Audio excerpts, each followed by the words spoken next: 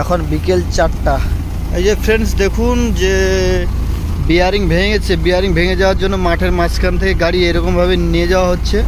যে এই চাকার বিয়ারিংটা ভেঙে গেছে খুব নিয়ে যেতে কষ্ট হচ্ছে। তেল ছিল। দেখতে হচ্ছে তেল ছিল। তেল থাকা সত্ত্বেও বিয়ারিংটা ভেঙে গেছে। সেই ছশো পাঁচ ফোর হুইল ড্রাইভ এই যে এই যে কেমনভাবে যাচ্ছে, দেখো। এর কারণটা হলো এই চাকা জাম হয়ে যাওয়ার কারণটা। বিয়ারিং ভেঙে বিয়ারিংয়ের যে রোলারগুলো রয়েছে, রোলার বলগুলো, সেগুলো এসে প্রিমিয়ামের দাঁতায় আটকে গেছে।